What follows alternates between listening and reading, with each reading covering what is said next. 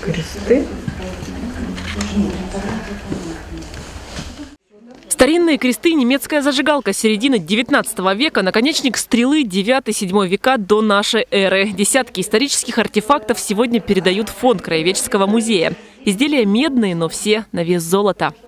Их, э, так скажем, э, ценность историко-культурная, она универсальна. Это частичка той истории, которая на сегодняшний день будет доступна для всеобщего обозрения э, в нашем с вами Краеведческом музее.